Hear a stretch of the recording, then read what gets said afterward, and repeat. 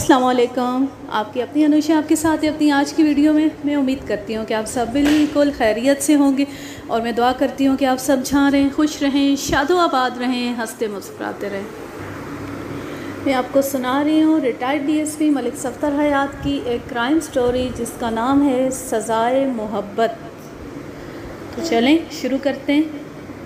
मैं S I Rana Afzal के साथ चौधरी के पीछे ही बाबा बशीरा के घर से निकल आया। मेरे जहन में हर लम्हे ये खदशा मौजूद रहा था कि कहीं आलिया बेगम और मुख्तार बीबी कोई महाज ना खोल बैठें, लेकिन खैरियत गुजरी कि मुख्तार बीबी ने मेरी हदायत पर अमल किया और आलिया बेगम ने भी कोई तलख तुर्श बात नहीं की थी। चौधरी ने आलिया बेगम के घर के अंदर दाखिल होते हुए कहा, मुझे तो शक है मलिक साहब, ये बुढ़ा बुढ़ी ज़रूर अमीर अली के बारे में कुछ ना कुछ जानते होंगे। आप इन पर ज़रा सख्ती करें तो मुमकिन है कोई काम की बात मालूम हो जाए। ज़रूरत पड़ी तो मैं इन दोनों को हवालात में डाल दूँगा। मैंने तसली आमेज़ लहजे में कहा, फिर एस आई को मुखातिब करते हुए हदायत की, राना, तुम ज़रा बाबा बशीरा से कह आओ कि घर में ही रहे। मैं भी उसके साथ ही फ्री पॉटरी चलूँगा। ऐसा ही चला गया तो चौधरी मुझे उस कमरे में ले आया जहाँ सफ़िया वकूए के रोज़ रात को सोई थी। वो एक अंदरूनी कमरा था। आलिया बेगम मुझे बता चुकी थी कि सफ़िया अलग कमरे में सोती थी। आलिया बेगम मेरे करीब ही खड़ी थी। मैंने उससे सवाल किया, आलिया बेगम, क्या आपको अच्छी तरह याद है कि सफ़िया ने रात सोने से पहले दरवाज़े को अंदर से कुंडी लगा ली थी? आप भी कमाल करते हैं, थानेदार साहब, वो बेजारी से बोली। अगर सफ़िया ने दरवाज़े को कुंडी लगाई होती तो वो शैतान अंदर दाखिल कैसे हो सकता था? मैंने कहा, इसका मतलब है दरवाज़ा अंदर से बंद नहीं था। ये जुमला मैंने बड़े सरसरी अंदाज में अदा किया था। कुछ देर सोचने के बाद मैंने आलिया बेगम से पूछा, अच्छी तरह सोच कर बताएँ गुज्त चंद रोज़ में आपने किसी मामले पर सफ़िया को डांट टपट तो नहीं की थी? बिल्कुल नहीं, थानेदार साहब। आपने सफ़िया के रवैये में कोई गैर मामूली बात महसूस की हो? नहीं जनाब, उसने नफ़ी में सर हिलाया। सब कुछ मामूल के मुताबिक था। मैंने कहा, अगर वाकई अमीर अली ने आपकी बेटी को अगवा किया है, गायब किया है तो इसका मतलब यह है कि उसने सफ़िया को घर से निकालने से पहले ज़रूर बेहोश किया होगा। बसूरत दीगर सफ़िया यकीनी तौर पर मजामत करती और शोर शराबे से आपकी आँख खुल जाती। मेरा भी यही अंदाज़ा है, मलिक साहब। चौधरी फरजंद अली ने कहा, उस चालबाज ने बड़ी मनसूबाबंदी से सफ़िया को गायब किया है।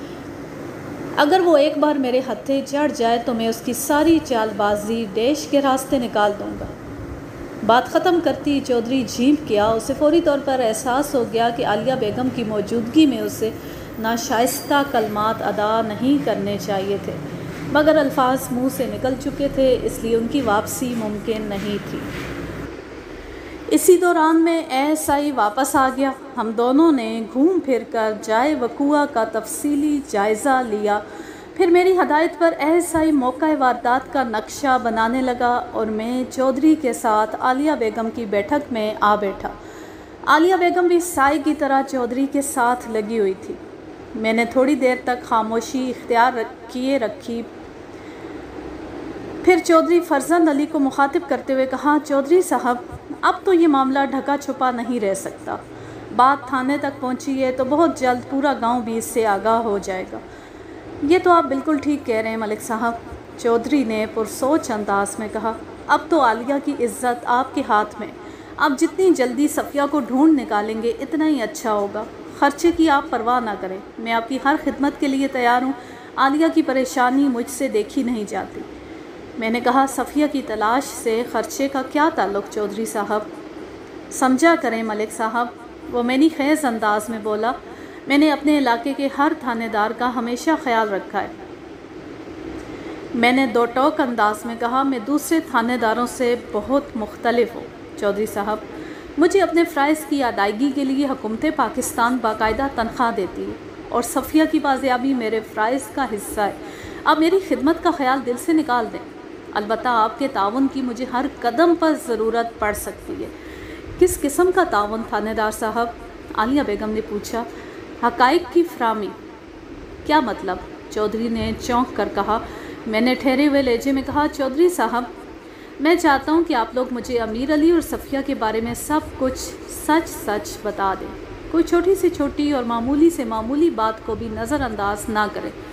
अगर आप चाहते हैं कि मैं जल्द अज जल्द सफ़िया का सुराख लगा लूँ तो मुझसे कुछ भी छुपाने की कोशिश ना करें।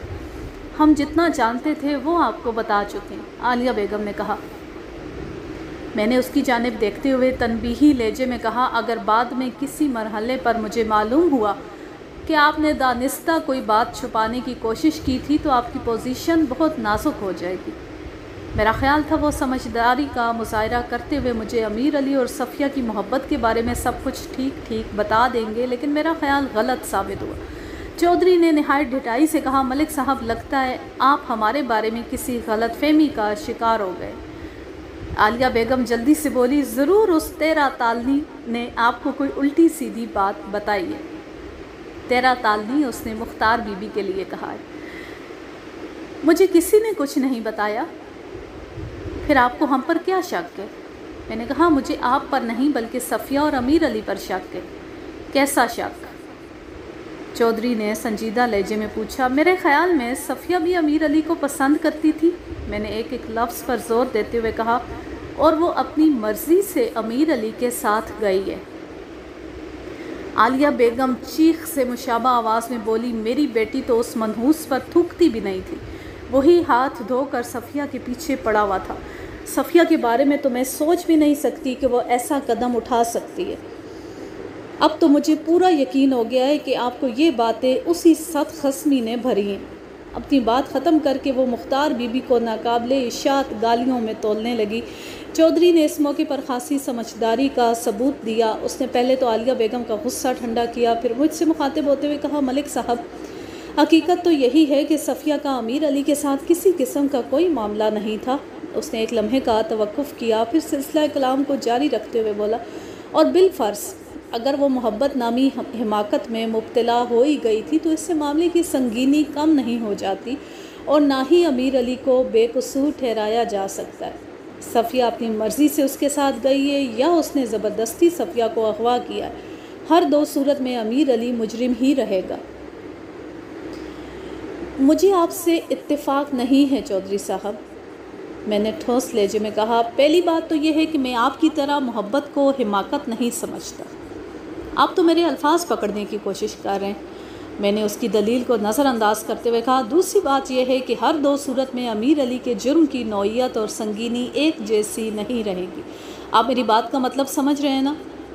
आलिया बेगम ने जले कटे लेजे में कहा, अमीर अली जाए जहन्नुम में। आप उसे फांसी पर लटकाएँ या फूलों के हार पहनाएँ। मुझे तो मेरी सफ़िया चाहिए। सच्ची बात यही है मलिक साहब।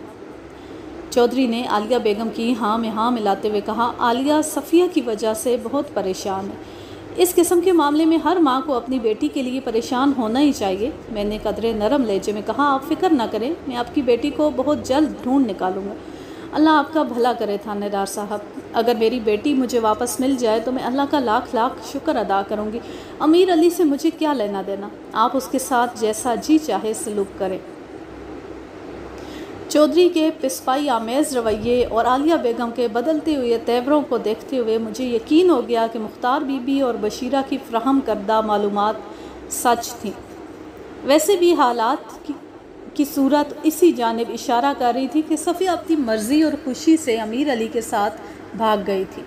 आलिया बेगम और चौधरी फरजंद अली अगर अमीर अली और सफ़िया के रवाबित को छुपाना चाहते थे तो मैंने भी एक हतमी नतीजे पर पहुँचने के बाद फ़ैसला कर लिया कि उन्हें इस मामले में अब ज़्यादा नहीं करे दूँगा।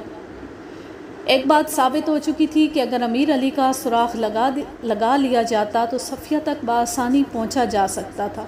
बाबा बशीरा अमीर अली के बारे में सिर्फ़ इस हद तक जानता था कि वो ज़िला सियालकोट, मोज़ा समड़ियाल का रहने वाला था। ये बात अमीर अली ही ने उसे बताई थी। अगर अमीर अली ने बाबा बशीरा से गलत बयानी नहीं की थी तो समड़ियाल जाकर मालूम करना बहुत ज़रूरी था। लेकिन सबसे पहले मैं अमीर अली के कारखाने में जाकर उस कारखाने के मालिक से मिलना चाहता था। मैंने चौधरी फरजंद अली को मुखातिब करते हुए कहा, चौधरी साहब, अब मौज़ा कंगनी वाला के बड़े बाखबर चौधरी हैं। ज़रा सोच कर बताएँ, कल सुबह से अब तक गाँव में से कितने अफराद बाहर गए? मैं आपको पंद्रह मिनट बाद बता सकता हूँ कि कल से आज तक कौन कौन गाँव से बाहर गया है और कौन कौन यहाँ आया है। मुझे अपने ख़ास बंदों से पूछना होगा। वैसे फौरी तौर पर आपको बता सकता हूँ कि अमीर अली और सफ़िया के सिवा सब अफराद गाँव में मौजूद हैं। बेहतर होगा कि आप अपने ख़ास बंदों से भी तस्दीक कर लें। वो कुछ देर सोचते हुए बोला, कहीं आप ये तो नहीं समझ रहे कि सफ़िया किसी और शख्स के साथ उसने दानिस्ता जुमला अधूरा छोड़ दिया? मैंने कहा, मैं किसी इम्कान को नज़रअंदाज नहीं करना चाहता। बाज़ात एक मामूली सी बात से हालात का रुख बदल जाता है। चौधरी ने कहा, जनाब मलिक साहब, आप हवेली पर तशरीफ़ ले चले, बाकी की बातें वहीं करेंगे। कुछ मुझे भी तो खिदमत खातिर का मौका दे। मैं इस वक्त ड्यूटी पर हूँ। मैंने कहा, खिदमत खातिर उधार रही, फिर कभी मौका मिला तो आपके दौलत खाने पर भी ज़रूर आऊँगा। अभी तो मैंने जो छोटी सी गुजारिश की है, उस पर कुछ काम करें। अब आप थाने जाएँगे। फ़िलहाल तो मैं इधर ही कुछ लोगों से मालूम हासिल करूँगा। फिर अमीर अली के कारखाने जाऊँगा। मेरा तो ख्याल था आप हवेली चलते, और मैंने भी आपको अपने ख्याल से आगाह कर दिया है। इसी दौरान मैं एस आई ने मौका वारदात का नक्शा तैयार कर लिया था। मैंने ज़रूरी कार्रवाई मुकम्मल करके बाबा बशीरा के घर का रुख किया। जब तक मैं बाबा बशीरा के साथ कंगनी वाला की हदूद से बाहर नहीं निकल गया, चौधरी फरजंद अली मेरे साथ साथ रहा था। एक बार तो उसने ये ख्वाहिश भी ज़ाहिर की थी कि वो मेरे साथ फ्रीद पॉटरी तक जाना चाहता था, लेकिन मैंने बड़ी खूबसूरती से उसे टाल दिया था। चौधरी फजंद अली ने वादा किया था कि मेरी मतलूबा मालूम वो शाम तक थाने पहुँचा देगा। Farid pottery main GT road पर वाक़ थी और कंगनी वाला से ज़्यादा दूर नहीं थी। जब हम बाबा बशीरा की मैयत में कारखाने में दाखिल हुए तो उस वक्त दोपहर के तीन बज रहे थे। कारखाने के बाहर मेन गेट के ऊपर वाज अल्फाज में फ्रीद पॉटरी लिमिटेड का बोर्ड नस्ब था, जो मैंने दूर ही से देख लिया था। दाखिली गेट से अंदर दाएँ जानब कारखाने का दफ्तर था। बाई जानब एक चिकना, हमवार और पुख्ता फर्श दिखाई दे रहा था, जिस पर एक तरतीब के साथ बर्तनों वाले सांचे रखे हुए थे। उन सांचों में ढले हुए मिट्टी के बर्तन मौजूद थे, जो सुखाने के लिए धूप में रखे गए थे। इस तवीलो अरीज फ़र्श के बाद कारखाने का स्टोर रूम था, जहाँ अमीर अली बाबा बशीरा के साथ तड़िंगर भरता था। दूसरी जानब दफ्तरी हिस्से के बाद एक बड़ा हॉल था, जहाँ बर्तन बनाने के चाक नस्ब थे। इन मशीनी चाकों पर दर्जन भर अफराद बर्तन बनाने में मसरूफ़ थे। इस हॉल से आगे कारखाने के अख्तामी हिस्से में बर्तन पकाने की चार बड़ी भट्टियाँ मौजूद थी।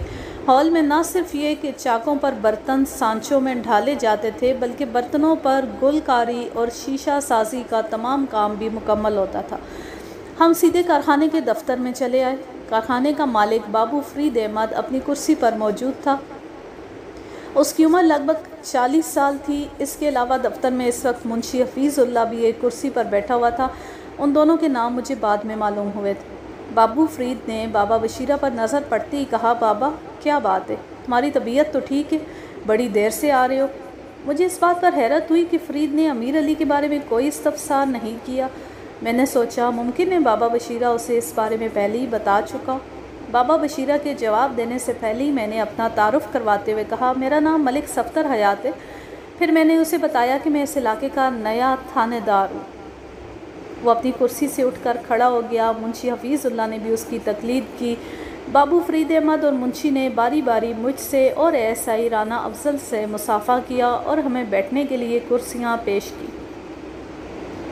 हम बैठ चुके तो बाबा फरीद ने हैरत भरे लहजे में कहा, खैरियत तो है मलिक साहब। आप बाबा बशीरा के साथ? मेरा मतलब है कोई गड़बड़ तो नहीं है? कोई क्या? अच्छी खासी गड़बड़ है बाबूजी, बाबा बशीरा ने कहा। किस किस्म की गड़बड़? बाबू फरीद की हैरत में तशवीश का अनसर भी शामिल था। मैंने मुख्तसर मगर जाम अल्फाज में बाबू फरीद को अमीर अली वाले वाक़े के बारे में बताया। वो अफसोसनाक अंदाज में सर हिलाता रहा। मैं अपनी बात के अख्ताम पर बोला, मैं इसी सिलसिले में पूछ कुछ करने आया हूँ। मुझे तो यकीन ही नहीं आ रहा कि अमीर अली ने ऐसी हरकत की होगी। बाबू फरीद अभी तक नफ़ी में सर हिला रहा था। वो ऐसा तो नहीं था। बाबा बशीरा ने कहा, मैं ख़ुद भी उसे ऐसा नहीं समझता था बाबूजी। लेकिन ये वाक़ रूनमा हो चुका है। बाबू फरीद ने मुंशी हफीज़ुल्ला को हमारे लिए चाय पानी का बंदोबस्त करने की हदायत की। मैंने मना करने की बड़ी कोशिश की, लेकिन फिर उसके खलूस को देखते हुए खामोश हो गया। बाबू फरीद ने मुझसे पूछा, आप किस किस्म की पूछ गुछ करना चाहते हैं? मैंने कहा, सबसे पहले तो आप मुझे अमीर अली के गाँव का मुकम्मल एड्रेस बताएँ। उसका एड्रेस मुंशी के पास मौजूद रजिस्टर में से मिल जाएगा। क्या आप उसके गाँव जाने का इरादा रखते हैं? हाँ मैं ये इरादा भी रखता हूँ। इसके अलावा भी हर मुमकिन जगह पर उसे तलाश किया जाएगा। आप इस सिलसिले में मज़ीद कोई रहनुमाई कर सकते हैं? मेरे ख़्याल में तो अमीर अली के दो ही ठिकाने थे, समड़ियाल और बाबा बशीरा का घर।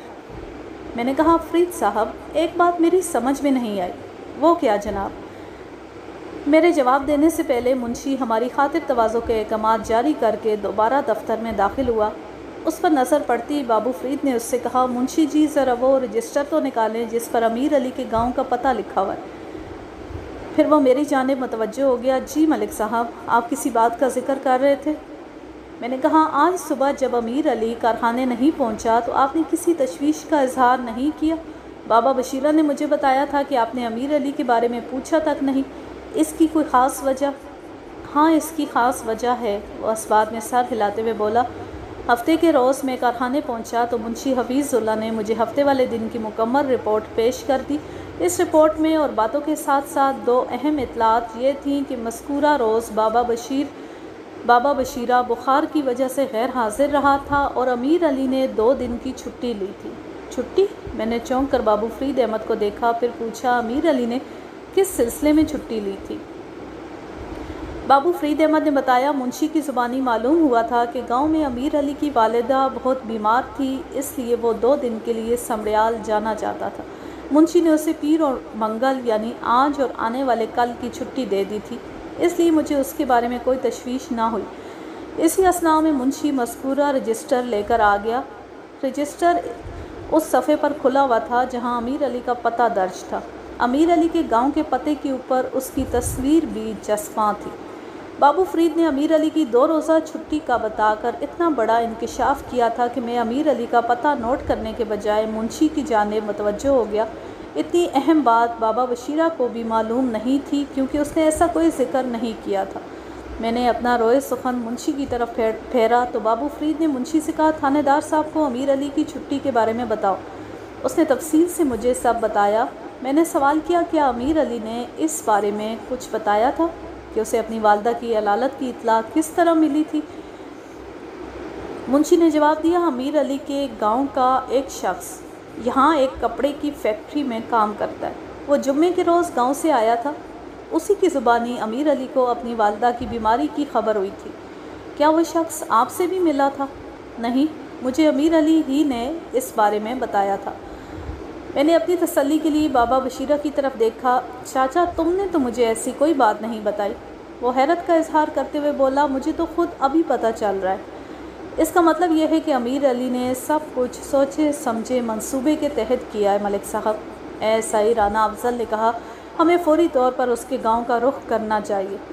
गाँव के ज़िक्र से मेरा ध्यान रजिस्टर की तरफ़ चला गया और मैंने अपनी जेब से नोटबुक निकाल कर अमीर अली के गाँव का मुकम्मल पता नोटबुक में तहरीर कर लिया। फिर बाबू फरीद की तरफ़ देखते हुए पूछा, आपके पास अमीर अली की और कोई तस्वीर भी है? बस यही है कि, उसने जवाब दिया, अगर ये तस्वीर आपके किसी काम आ सकती है तो रजिस्टर से इसे उखाड़ लो।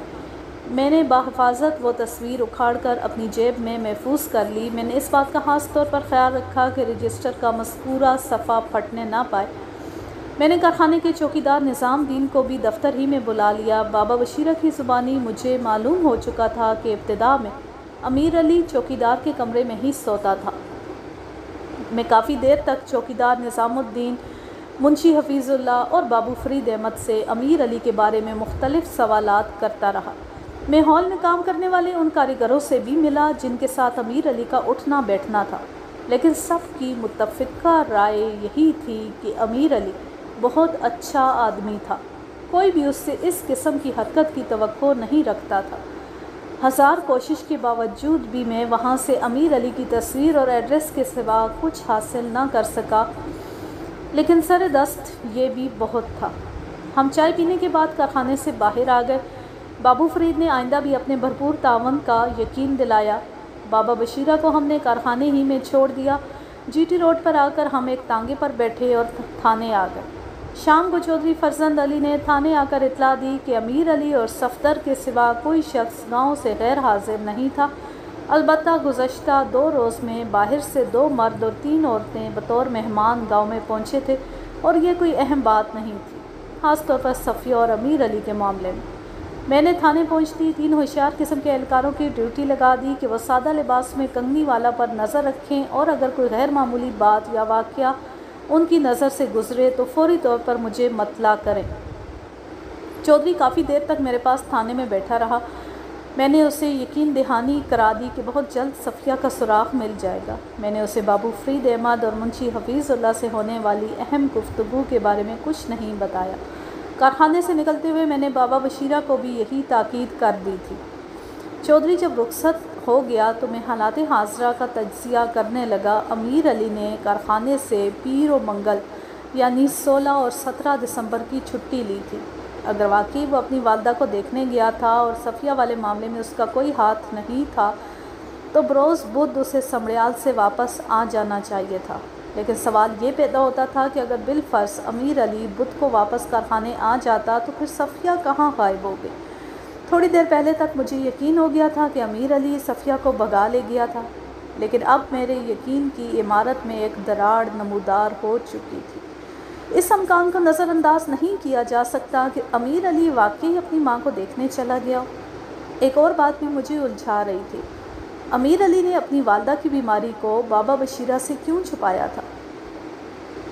एक घंटे की सोच बचार के बाद मैं इस नतीजे पर पहुँचा कि अमीर अली ने अपनी वालदा की बीमारी का बहाना बनाकर सफ़िया को बड़ी सफ़ाई से उड़ा लिया था। वो चाहता होगा कि दो रोज़ तक उसकी तरफ़ किसी का ध्यान ना जाए ताकि वो सबकी पहुँच से बहुत दूर निकल जाए। या फिर वो वाकई अपने गाँव गया था और सफ़िया के अगवा के मामले में उसका कोई ताल्लुक़ नहीं था। मुमकिन है बाबा बशीरा को वो वालदा की बीमारी के बारे में इसलिए ना बता सका हो कि आलिया बेगम के घर में उसकी बेस्ती वाले वाक़े ने उसे जहनी तौर पर खासा मुंतशिर कर दिया था। हकीकत हाल तक पहुँचने के लिए दूसरे रोज़ ही कोई अमली कदम उठाया जा सकता था। मैं थाने से उठा और अपने क्वार्टर में आ गया। दूसरे रोज़ मैंने एसआई रब नवाज़ की क़्यादत में एक पुलिस पार्टी तरतीब दी और उन्हें मोज़ा मोज़ा समड़ियाल रवाना कर दिया। मैंने एस एसआई को ताकीद कर दी थी कि पहले वो अपने तौर पर अमीर अली के बारे में मालूम हासिल करे। अगर वहाँ उसकी मौजूदगी का सुराख मिले तो सफ़िया समेत उसे गिरफ़्तार करके थाने ले आए। अगर सफ़िया उसके साथ ना हो तो भी अमीर अली को ज़रूर गिरफ़्तार करके ले आए। मेरा ख्याल था अमीर अली सफ़िया के अगवा में मुलविस था या नहीं। हर दो सूरत में उससे मुफीद मालूम हासिल हो सकती थी। उसी शाम एस आई ने बेन एस आई बेनीलो मुराम वापस लौट आया। उसकी तहकीक व तफ्तीश के मुताबिक अमीर अली समड़ियाल गया ही नहीं था। यह बात भी गलत साबित हुई कि अमीर अली की वालदा बीमार थी। इसका मतलब यही था कि अमीर अली ने अपनी वालदा की बीमारी का ड्रामा रचाया था। अमीर अली की वालदा ने एसआई को बताया था कि करीब करीब एक हफ़्ते कबल अमीर अली गाँव आया था और एक रात वहाँ गुजार कर वापस चला गया था और उसकी ये आमद मामूल के मुताबिक थी। फ्रीड पॉट्री में सात तारीख को तनख्वाह दी जाती थी। तनख्वाह वसूल करने के बाद ही अमीर अली हर माह अपने गाँव का एक चक्कर लगाता था। एसआई ने अमीर अली के घर वालों को तमाम सूरत हाल से आगाह कर दिया था। वहाँ रोना पीटना मच गया। अमीर अली का बाप मुश्ताक अहमद तवील अरसे से माजूरी की ज़िंदगी गुजार रहा था। उसकी माँ भी खासी ज़यीफ़ हो चुकी थी। बहन भाई छोटे थे। किसी की समझ में नहीं आ रहा था कि वो करें तो क्या करें। अमीर अली के बारे में जानकर सबके औसान ख़ता हो गए। ऐसा ही रब नवाज़ उन्हें तसल्ली देकर आया था कि जैसे ही अमीर अली का कोई सुराख मिला, उन्हें भी खबर कर दी जाएगी। उनसे वादा भी लिया था कि उन्हें अगर अमीर अली और सफ़िया के बारे में कोई बात पता चले तो वो फौरी तौर पर मुतल थाने के इंचार्ज को सारी सूरत हाल से आगाह करें। एस आई ने मुतल थाने के इंचार्ज को सारी बात से आगाह करके ताउन की अपील की थी। अब एक बात साबित हो चुकी थी कि सफ़िया के अगवा में अमीर अली सद फ़ीसद मुलविस था। अगले रोज़ मैंने अमीर अली की तस्वीर एक फ़ोटोग्राफ़र को देकर उसकी निसफ दर्जन कॉपियाँ तैयार करवा ली। अमीर अली की तस्वीर की एक एक कॉपी मैंने इर्द गिर्द के थानों को भिजवा दी और ताकीद कर दी कि वो अपने थानों की हदूद में इस शख्स को तलाश करने की कोशिश करें। मैंने इस तलाश का पस मंज़र भी वाज कर दिया था। आइंदा तीन चार रोज़ तक मैं उन बसों के ड्राइवरों और कंडक्टरों से पूछ गुछ करता रहा जो 15 दिसंबर रोज़ इतवार की सुबह कंगनी वाला के करीब से गुजरी थी। बसों का अड्डा मेरे थाने के नज़दीक ही था। ये शेखोपुरा मोड़ कहलाता था और दो बड़ी सड़कें यहाँ आकर मिलती थी। एक तो मैन जीटी रोड जो लाहौर से रावलपिंडी तक जाती थी। दूसरी सड़क लाइलपुर यानी मौजूदा फैसलाबाद से आकर इस बड़ी सड़क में शामिल हो गई थी। शेखुपुरा लाइलपुर के रास्ते में था। इसी वजह से बसों का अड्डा शेखुपुरा मोड़ भी कहलाता था। कंगनी वाला मेरे थाने से जनूबी सिमत में जीटी रोड पर वाक़ था। वहाँ से गुज़रने वाली बसें लाहौर से आती थीं या लाहौर जाती थीं। लाहौर से आने वाली बसें उस ज़माने में आमतौर पर सियालकोट या रावलपिंडी की तरफ़ जाती थीं। आजकल का मुझे पता नहीं। एक बात तो साबित हो चुकी थी कि अमीर अली समरियाल नहीं पहुँचा था। इसका मतलब यही था कि वो या तो लाहौर की तरफ़ निकल गया था, या फिर उसने रावलपिंडी का रुख किया था। उस ज़माने में आजकल की तरह सड़कों पर बसों की भरमार नज़र नहीं आती थी, इसलिए मैंने दो घंटे की तफ्तीश से मालूम कर लिया कि 15 दिसंबर की सुबह कंगनी वाला से सिर्फ़ तीन बसें गुजरी थी। दो बसें लाहौर से रावलपिंडी की तरफ़ गई थी, जबकि एक बस सियालकोट से आने वाली लाहौर की तरफ़ गई थी। ये बस चौधरी ट्रेवल्स की थी, जबकि रावलपिंडी की सिंध जाने वाली बसों में न्यू खान बस सर्विस थी और दूसरी पंजाब हज़ारा बस सर्विस की। तीन चार रोज़ तक मैं इन तीन बसों के ड्राइवरों और कंडक्टरों को अमीर अली की तस्वीर दिखाकर पूछताछ करता रहा। उन्होंने अमीर अली की तस्वीर देखने के बाद पूरे वसूख से मुझे बताया कि अमीर अली उनकी बसों में नहीं बैठा था।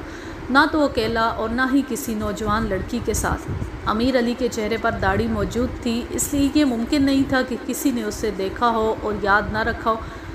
मैंने उन ड्राइवरों और कंडक्टरों को सफ़िया का हुलिया भी बड़ी वजात के साथ बताया। मैंने एक और इम्कान पर भी गौर किया। ये भी तो हो सकता है कि वो निसफ शब को फ़रार हुए हों। इस इम्कान को जहन में रखते हुए मैंने वहाँ से रात को गुजरने वाली बसों को भी चेक किया, लेकिन नतीजा ढाक के तीन पात की सूरत में बरामद हुआ। गोया ये फैसला हो गया कि वो दोनों बस में बैठकर किसी दूसरे ज़िले की तरफ़ नहीं गए थे, उन्हें आसपास के इलाकों ही में तलाश करना चाहिए था। उसे अगले रोज़ मैंने तीन पुलिस एहलकारों पर मुश्तमिल पाँच पुलिस पार्टियाँ तरतीब दी और अपनी तफ्तीश का दायरा कार वसी करते हुए उन्हें पूरे ज़िले में फैला दिया। उन पार्टियों के अलावा ज़िले के दूसरे थाने भी अमीर अली और सफ़िया की तलाश में सरगर्म हो चुके थे। इस दौरान में चौधरी फरजंद अली थाने के कई चक्कर लगा चुका था। वो अपने तौर पर भी मुख्तलिफ़ इलाकों में अमीर अली और सफ़िया को तलाश करवा रहा था। मैंने जिन तीन सादा लिबास पुलिस एहलकारों को कंगनी वाला में मुतन कर रखा था, उनकी जानब से भी कोई ख़ास इतला मुझे मौसू नहीं हुई। मैंने अब तक की कार्रवाई की रिपोर्ट एसपी इलाका को भिजवा दी थी। इस सिलसिले में जो दफ्तरी कार्रवाइयाँ होती रहीं, मैं उनके ज़िक्र को हज़फ करते हुए आगे बढ़ता हूँ। ये वकूए से लगभग एक माह की बात है। वो हफ़्ते का दिन था। और जनवरी की 18 तारीख। मौसम सरमा अपनी जूलानी पर था। बर्फीली हवाओं ने हर शे को अपनी लपेट में ले रखा था। दोपहर के बाद मुझे इत्तला मिली कि कंगनी वाला में एक अजीब गरीब मंजर देखने में आ रहा है। इतला लाने वाला एक सादा लिबास पुलिस एहलकार था। मैंने फिलफोर उसे अपने कमरे में बुलाया और उस अजीब गरीब मंजर की वजाहत तलब की। उसने सनसनी खेज़ इंकशाफ किया। आज के लिए बस इतना ही। अब मैं लेती हूँ आपसे इजाज़त। जाने खुश रहें, शादो आबाद रहें, हँसते मुस्कुराते रहें और इस सनसनी खेज़ इंकशाफ का इंतज़ार करें अगले पार्ट में। अल्लाह हाफिज़, अल्लाह निगहबान